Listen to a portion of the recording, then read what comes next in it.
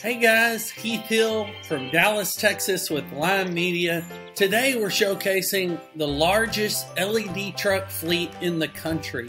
We currently have over 30 of these trucks and we are building five a quarter to get our numbers up to 100 over the next three years.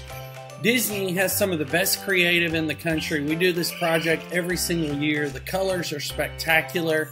And what they really do well is they'll take three trucks and run creative truck to truck to truck, which is a pretty unique concept, really draws the eye. So give us a call on your next idea.